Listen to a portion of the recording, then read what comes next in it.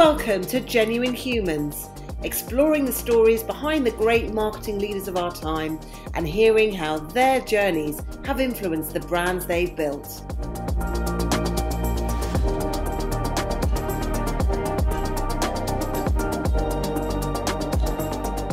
Brought to you by The Social Element, here are our hosts, Tamara Littleton, CEO and founder, and Wendy Christie, Chief People Officer.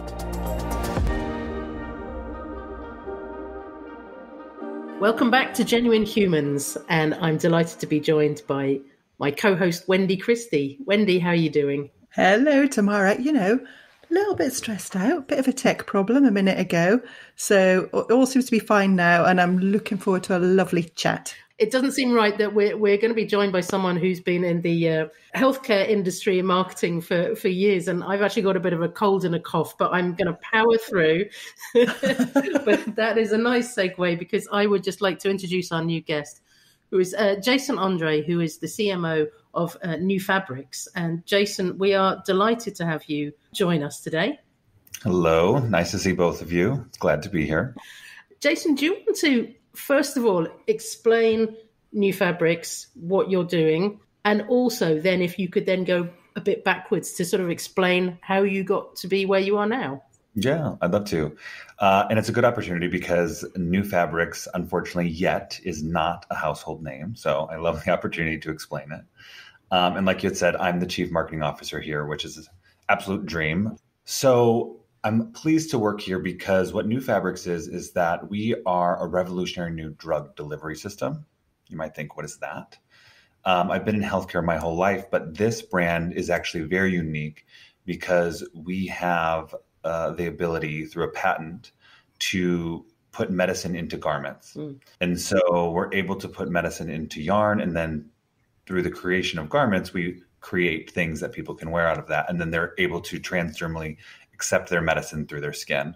I've worked in transdermal medicine wow. before, so it's a natural fit, but that's what we do today.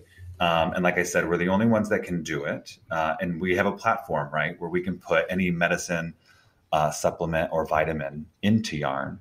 But what some people who use us would know us most for is our pain line. Mm. Uh, we have a line of pain compression garments that we sell nationally here in the US. And so, if your knee is sore versus taking a, a, a pill, you can slip on our garment and you're able to uh, treat your pain directly at the source. Similar to a cream, but without the smell or the mess. You can just you put it on, you can wear it all day, and you can kind of forget about it. So that's a little background on Nufabrx. I love it. And and how did you come? You know, why Nufabrx? Because I, I want to hear about your your background, but I know that you know this is quite a, a change in direction for you. So yeah. can you perhaps share with the listeners your your history? Yeah. So I have had the ability of working on many uh, launches uh, around the globe for pharmaceuticals and specifically RX to OTC switches. And I did that with an amazing company uh, called GlaxoSmithKline, now known as Haleon. And when it was time for me to look for my next journey, I wanted to make sure that I was still able to kind of deliver on what I had loved doing, and that was kind of making people's lives better uh, through health and wellness. And so when I was exploring the current marketplace at that time, I really wasn't prepared to leave unless I found a brand that I truly loved. Mm. And when I came across Nufabrx, it really hit on a few things for me, but really it was something that was still in the health and wellness space, but it was also going to give me that next exciting chapter in my career where it was kind of new. And like I said, I've always worked on launches, and what I loved is kind of building something out of nothing. And I'm I'm hope I'm I hope I'm able to do that here. Fantastic. Now I I also know because when we've chatted before that you haven't always been in America as well. Yeah. So tell tell us where you've been to. well, and, uh, yeah, and I can I can tell I can start you further back in my journey because I've kind of moved over a lot or moved around a lot. So where, where to start? Uh, I've always wanted to be in healthcare, right? And but that wasn't always the case. so I actually graduated from Northern Illinois University in 2008. Mm-hmm. And what's interesting about that time and that location is two things. One, uh, unfortunately, in 2008, Northern Illinois University suffered from a mass shooting um, that took place on campus oh my, my senior year. And then also 2008, was the housing market crash in the US. And so the reason I bring that up is because here I was graduating from university, ready to start my career. And unfortunately, it wasn't the best time. So the first was uh, the shooting incident that actually, for many reasons, was was a terrible situation. But it also delayed my ability to get mm. a job. So as you can imagine, when something like that happens, there's a period of time where school is no longer in session. It is very difficult to kind of get the curriculum up and running again uh, it actually put my whole class back. And it was actually something I lost my first job over because it was one of those situations where you had secured the job before graduating, but then when the when the date changed, therefore that company, unfortunately, and I understand that, I wasn't able to move forward with it. And that happened to many, many folks. And that actually pushed me into finance, which is interesting. And specifically finance, it was uh, mortgages. And so I started my career. I, I, got a job with a company that I loved, and I was actually um, selling and refinancing mortgages right out of school. Soon after that, within less than a year, the company I was working for, as many were at that period of time, it went bankrupt. And I tend to make good situations out of bad. So I actually took five months off and said, "Let's let's reset this again." I felt like I had such an ambitious goal of coming out of school, and I said, "Let's let's take some time and figure out what's next." I'm a big planner, and I really kind of sat down and wrote out my career and what I wanted. Uh, I did hone in on marketing, and I did hone in specifically on healthcare, which a lot of people thought was too niche for me. But I thought if I'm going to sell something, I might as well sell something that's going to improve people's lives than potentially make them worse. And I was able to tell that story to as many people as I could. And the one person that listened, his name was Les Ziegler. I met him in Midway Airport and he was willing to take a chance on me, which was really funny because I was not interviewing for the job. And he's like, "Hey, I, I, actually don't work for a healthcare company, but I work for a company that is a vendor for a healthcare company. Would you be interested?" Uh, and at that time, I was, and so and it fit into my career path, right? Because I really fell into the lattice approach, and I wanted to do sales, I wanted to do marketing, I wanted to do innovation, I kind of wanted to do the full 360. Uh, and that was my stepping stone into it. So that was not when I worked for GlaxoSmithKline. I actually started as a vendor for them. So I was the carrying the bag, as they say. Uh, I would go into the different uh, retailers and talk to the pharmacists and try to get them to either put more of our product on shelf uh, or I would sell in uh, new product items. And quickly after that, he held up to his promise. and I moved into the client office and I started, that's really kind of where I started my career. Uh, and I bounced around quite a bit both location wise, but also in my career, and something that I um, tried to live by, and I still do to this day. I don't, I don't really know where it came from, where this ambition came from, but it was wise advice from someone, I'm sure. But I never wanted to stay in a role for more than two years. Okay. And that was something that I felt for my progression rate that I wanted was important. But to be honest, it also is my ability to get bored really easily. Mm-hmm. So I, I stuck to that, and uh, I held all of my uh, managers accountable for that too. Of course, you have to perform. And so that's kind of what started me on my career. And I've done everything from associate brand manager, I've done the innovation brand manager, I've been a retail sales rep. And then I got into product launches, which, which is where I kind of fell uh, in love with marketing. And I've done that for many brands. I've launched Flonase here in the US, which was which was a big one. And what's also important is each job took me to a new location. So I started in Chicago, I moved to Pittsburgh, I then moved to New York in the New Jersey area, uh, and then I moved to Switzerland. So my recent job before my current job was I was leading the global digital content team for uh, GlaxoSmithKline. Uh, and I did that for about four and a half years, uh, right outside of Geneva. And honestly, it, it, was everything I had wanted, but it, it had been 15 years, believe it or not, and it was time for my next move. And it was it was time to also come back to the US. And so that kind of brings me to current day. Wow. And I think that there is something that, you know, I would it would be remiss of me not to to pick up on it again, but that start of your career mm. that obviously it didn't pan out the way you want because of things out of your control. Do you think that built up a sort of a certain resilience of and, and also maybe more just going with the flow of, of let's see what happens because that's you know it, it didn't pan out the way you wanted Yeah, I think it did. I mean, only until reflecting recently could I, you know, articulate it that way. I think you're correct. I also think with young ambition and drive, I wasn't willing to let anything get in my way. Yeah. And that was more my personality. However, it sounds easier said than done because it was not easy. I'll be honest, that time was, you know, I didn't have a job, but I was willing to wait. But then sometimes the, you know, fear would sneak in, you know, are you not going to get a job?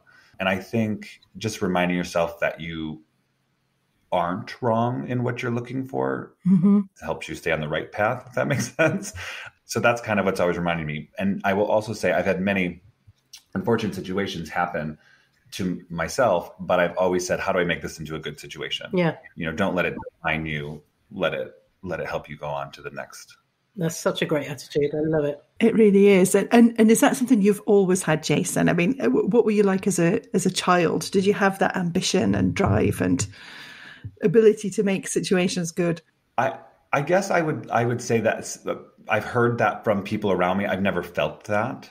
Mm-hmm. So, you know, how I grew up is actually quite unique. I never have thought it was unique. I actually didn't tell many people for for actually, I guess, fear of embarrassment. But now I have, and people find it as one of the most interesting things about me. Although I, I don't find it that interesting.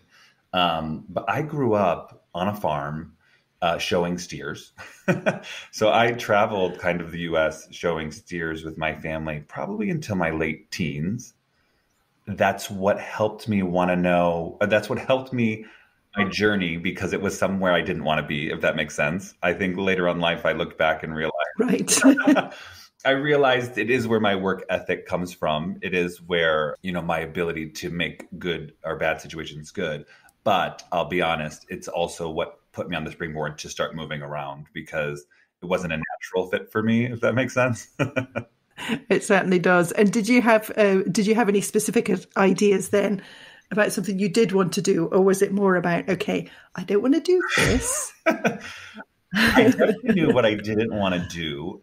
We also, gosh, growing up, I wouldn't say we were remote because it wasn't a very small town, but I, I always fell in love. It was it was interesting was TV and it was kind of my ambitious for ambition for marketing. I think TV commercials were something that I was always fascinated by.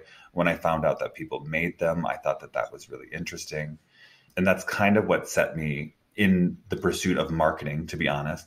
But it's what actually then helped me get out of where I was. So, you know, up until before I went to high school, I was in a class of eight. I went to a very small class, a uh, very small school uh, and then I went to high school, and then I went to even bigger university, which I just I kind of fell in love with school. I love the organization. I loved the grading. I loved the you know uncovering new things. And then even after university, I went to get my MBA. That I continued. I've always continued my education, but I think it's because I, I, I think it was because I was always looking for something different outside of what I had originally mm-hmm. started on. But as I've gotten older, I do appreciate the the way I grew up, but it, it, it, definitely was something I strived to to do more. It's certainly a, a, great talking point. I don't think that's a story we've heard so far in, in all of the the podcasts we've done. And were there people who you particularly looked up to, and, and not just as a child, actually, but uh, people who've since then who've influenced you or supported you in your career? I think I think it's always been people when there's a bad situation or you're working with less less genuine people that have helped you get out of that for me. Right. You know, starting even at a younger age is interesting going into you know love of TV and things like that. This she wouldn't have thought I would mention her, but I would say my high school English teacher uh, her name her name was Mrs. Davis, but she kind of was the first person that helped me see that you know your words matter, your words can move people. It's actually where I mm-hmm. started to create things and started even poetry writing, which I kind of roll my out because I'm not a poet, but I started to do those things, and she really encouraged me to pursue that. She thought I was going to be a a songwriter, but that obviously didn't happen. And then I still even, could. it's not too late. yeah. So so that was kind of like the earliest person I, I could I can definitely remember. I mean, I mentioned, you know, having that ability to look for a new job. And you know i came across that guy at the airport. His, his name was les. And we've maintained friendships throughout my career. And he was someone that helped me realize that what i was looking for wasn't crazy and really helped me. And there's been several others. I mean i've moved around enough and had um, many amazing jobs on many amazing brands. And therefore i've worked with many amazing people. And uh, I, I think also what's important is you keep in contact with them. Yeah yeah, I think our network is just so important, isn't it? And it's it's funny how I I still have sometimes people getting in touch with me that I worked with 20 years ago or something like that, and it's just it's great when you can can have that network. Just thinking, uh, Jason, back to the, the fact that you've moved over to I'm, I'm not going to call it a startup, but it's a it's you know it's it's a different beast to what you've been used to with say GSK, for example. But uh, what are you what are you learning, and and how different are they? So it's it's definitely a startup for sure. Um, I, I, think we've had a lot of success because we're in over twenty thousand retailer doors, but we still are a very small brand that's up and coming. I think what's I, I guess what always surprises me on a daily basis is that it's not that unique and, and in a good way. I think the problems aren't unique. I think mm. the problems are the same we have in large global matrix organizations. I think what's special, and this should be no surprise, is I think how people tackle them and the ability to do it much faster always surprises me. So every time a problem comes, I'm like, this is very familiar. This this is very known. This is normal. Uh, but I think the solutions and the way we come to fix them is what is amazing to see, um, and the speed in which you can do that but it's it's interesting too like the people that i would say we work with because Nufabrx has around 40 employees they are equally all amazing and they come from all these amazing backgrounds and and i just love that. Mm-hmm. so so I, I feel very at home if that makes sense but i'm constantly reminded that it's a much smaller organization. But i was definitely ready for this after 15 years of doing what i was doing for for an amazing company. I was looking for that you know diamond in the rough and i and i think i found out and when you talk about the industry, you sound so passionate. Is is that something that you you feel is important for marketers that you have to be passionate about the brand? I, I do. I think I think marketing and brand is is all about tone of voice, and I think the people on the team need to emulate that and share that. So therefore, you must be passionate about it. That's not to say I I haven't. I I, I think I guess what I was going to say is that's not to say that everyone has to be equally as passionate, if that makes sense. I think you definitely need a team of individuals that have different skill sets. But now, when it comes to marketing, I do think you need to be that you know, brand poet that we talked about, you know, or you need to have that consumer insight that you share with who you're selling to so that it is more than just selling a product. I think that's something that most people forget specifically when it comes to healthcare, you know, pain or health is personal. Mm. And I think consumers want to be talked to in a very personal way, specifically in today's world. And so I think if you're not passionate, it could easily slip into just product benefits, mm. you know, pro- problem solution. Uh, you know, I think all of the things that maybe today consumers are bored of.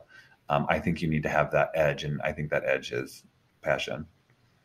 And what's exciting you in the sort of marketing industry at the moment then? I think, gosh, I, um, most, I'm trying to think of what most people would say. I think a lot of people would say, you know, all the automation is happening is so exciting. But I think what I would say is the engagement that consumers are willing to have with brands is what's exciting. I think engagement has always been there and it's always been talked about. It's always been equally as important. But I think now what you're seeing is that consumers not only are expecting it, I think the younger generations, you know, are demanding it. And if you don't have that positive engagement and transparent engagement with consumers, you're not going to win. And I think that just really excites me because it's kind of going back to how marketing was, you know, before yeah. the disruption, even TV and technology. That's really what it what it was. You know, think about door to door sales uh, of products. I think now consumers are kind of expecting that same level of engagement, which which for me is really exciting, and it's um, it feels like it's new and endless possibilities. I guess is what I would say. And kind of going back to what your teacher was saying about the importance of words and words matter. Right, and and I think making sure that if it was you on the other side of that, whether it's TV or email or, or, or what have you, you know, you would accept what someone is saying to you. And I think that's just really important because um, consumers can read through the lines, if that makes sense. So I always tell my team it's it's better to be um, honest than it is to be regretful. Yeah, and kind of cool to be working with such groundbreaking products and technology and, and being able to sort of drive what is that tone of voice going to be. That's that feels really exciting. Yeah, I, I definitely think I think you're right because is is pain a new category? No, but how people seek treatment really is, and I think there's so much going on, and hmm. I think to have the ability to work on a brand that actually is offering something new is really exciting. And I love talking to consumers because they're always like, "Oh, I didn't know that existed. Tell me more." And I think that's when you know you have a good product. Yeah. So, what are you most proud of, uh, either in or out work? You know, something more in your personal life or, something at work? What what's what's made you proud? Well, so I am a father of two, and I, I think I'd be remiss if I didn't say that I'm very proud of my. So two girls, they're born on the same day, which uh, people think they're always like, "What are the odds of that?" I'm like, "Well, it's 101 and 365." so not twins. So the same the same date but different years. That's right. So they're three years apart. I'm very proud of them. Wow. I think they've been on this journey with us, specifically even as we've moved around the world. And I think their resilience, I'm very proud of, and I'm hoping it sets them up for amazing future, but also with you know amazing skill sets. And so I just say that because I have recently moved, actually twice within the last year. I've just been really proud to watch them uh, be able to manage those transitions. I love that answer. And do you think the amount of change that you've been through has has helped you support them with them? I, I, hope so. I think I think it's always something in the back of my mind, and now something that I value and so the past couple years for us has been a lot of transition. Part of the reason we moved from Switzerland back to the US, which then, you know, kicked kickstart a career change, I actually lost both of my parents in a very short amount of time. And that was something I was so not sorry. thank you. Was not something I was probably equipped or re- definitely ready to to handle. But unfortunately, the situation wasn't going to change. And I kind of relied back on what I've always done is like, how do I make this absolutely terrible situation into a positive one?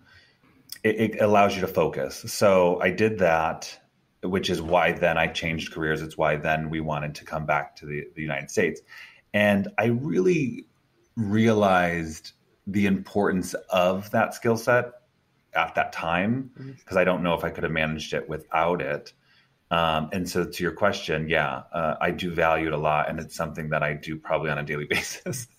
Try to overly teach my children. You know, if something's not going your way, that's okay. You know, how do you not fix it? How do you make it better, uh, or how do you deal with it better, or how do you turn it into something positive? Is something I'm constantly. I do need to remind myself, but it's something I remind my children. Yeah. I feel like I feel like you might need to do a TED talk, actually, Jason.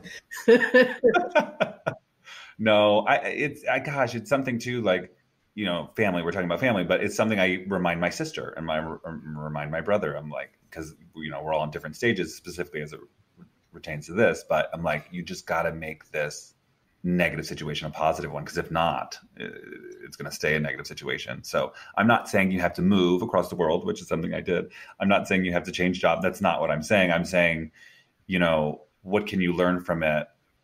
You know how do you improve your life from it is kind of something that i think is important. Yeah it's something i can subscribe to. I uh, i refer to myself as not the ceo but the chief eternal optimist it's it's uh, i love that it's just how how you have to deal with life really yeah. No, I love that. And I and I think too, like even as it you know, when you look at the teams that you manage at work, it's you have to tell people like don't react as if this is happening to you. Mm-hmm. React to the situation because I think when you internalize things and you assume negative intent, it's really where your brain can start to spiral. And for me, it's all about then how do you change the external environments? How do you uh, react to it differently versus reacting reacting to it internally? So it's it's something I'm con- I feel like comes up anytime. Like if something's not going your way, or we missed a deadline, or sales are down, it's like okay, that's great, that's the problem. Let's talk about how we fix it. Let's not talk about how negatively it's going to impact us. Wise words. So I think we're going to shift gear a little bit now, and this is where the the part of the podcast where we uh, we sort of ask you a few more quick fire questions and a bit more personal. So I'll let Wendy Wendy kickstart. A nice gentle start. What's your idea of a perfect weekend? oh, so I definitely used to be the extrovert wanting to go out and I'm definitely no longer that person. So my my ideal weekend honestly is probably the laziest one I could think of. It would be waking up having a big breakfast, getting things done around the house. Oh, a movie night for sure with everybody I uh, I love, and then honestly, early to bed. The earlier I can go to bed, the better the weekend I feel. So yeah, I hear that, Jason. Yeah. I'm embracing naps at the moment. yeah, I, I, just love that. Like on a Monday when they was like, "What'd you do?" I'm like, "Nothing." If you could time travel, so completely different gear again. If you could time travel to any point with no consequence, future or past, when or where would you go? Uh, so I would definitely be a future person. As to throw out a date, it would be like 20, 2046. Only because I'm just so obsessed with knowing how things are going to turn out. Like I would love to just do a quick check-in with myself, you know, 20, 30 years down the road it's interesting. One, I want to know if everything worked out, but two, if it didn't, I need to prepare myself for that. So I would want to know uh, what I'm up against for the next 20 years. Yeah. I mean, the no con- consequence thing in a way kind of makes it harder because it's like looking ahead. If, if it's not what you want to see, yeah. I can't do anything about it. At least I can prepare myself. Yeah, yeah. and if you could be remembered for just one thing, what would it be? One thing, oh gosh, I'm going to say two. It would be, um, I would say a good father and a good friend. I mean, relationships, I guess, if I had to say one. I really try to form really great relationships. I think they're mutually beneficial. And I don't know, I, I, I guess a father and a friend. I think that's great. Uh, food. I love a bit of food, particularly American food, actually. But what's your favorite food experience that you remember? This one's easy for me. I had my so my mother visited me in Switzerland, and we took her to Zermatt. I don't know if either of you have been, um, but we had an amazing time, and we were able to take that train up to the Matterhorn, and we had uh, fondue with it was with my wife and my uh, oldest daughter at the time, and I we just had the best time. We we drank more wine than we should with fondue, and it was just really good food and good company and it was a magical trip, I guess I should say. But that dinner specifically, I have lots of photos from that. I, I love. Fabulous. I think you are meant to drink a lot of wine with fondue. I think it's it makes them digest it or something.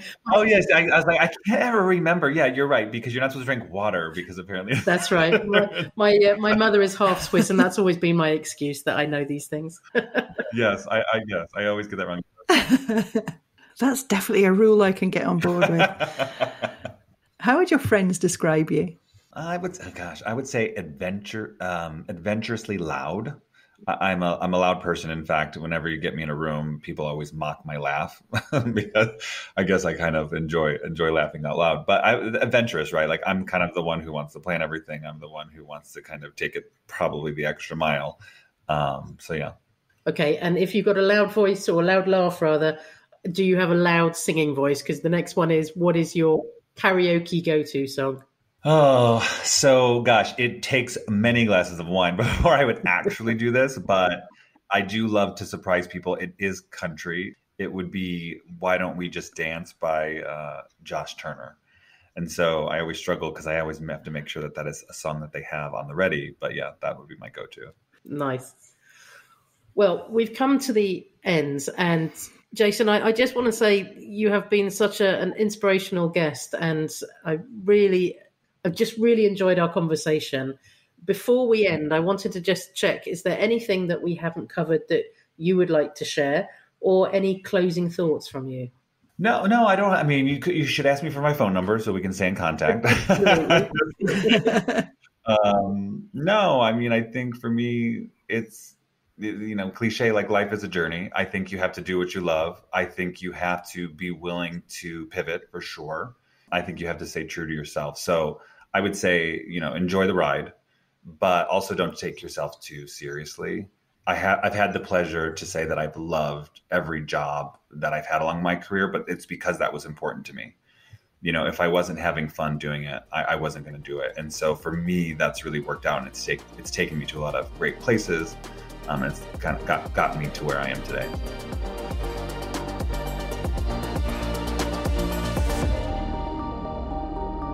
You've been listening to Genuine Humans, brought to you by The Social Element. If you loved what you heard, remember to subscribe, or you can find out more at www.thesocialelement.agency.